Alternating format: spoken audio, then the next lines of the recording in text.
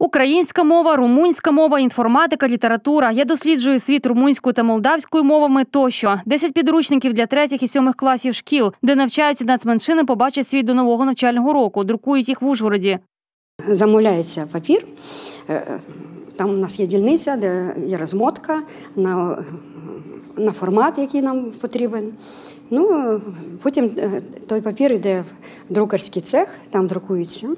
Ну а на, цій дільниці вже йде основна фальцовка, е, фальцуються листи, які вже на другому етапі на дільниці брошуровки е, підбираються в книжку. Від 1700 до понад трьох тисяч примірників кожного видання таким тиражем розійдуться книги до закарпатських шкіл, а також до закладів міст Одеси Чернівці. Поліграфічне підприємство займається цим вже понад 15 років, співпрацюючи з видавництвом Світ, що має дозвіл Міністерства освіти і науки на друк підручників для нас меншин і фінансується державним коштом.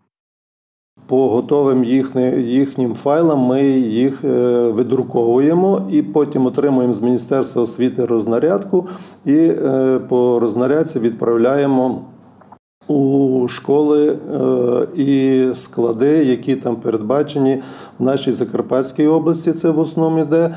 Потім іде е, Чернівецька область, відправляємо відправлення, здійснюємо, і в Одесу. Чому в Одесу? Тому що туди е, йдуть молдавські підручники, в Чернівці йдуть, як правило, румунські і трошки угорські, а в Закарпатті румунські і угорські.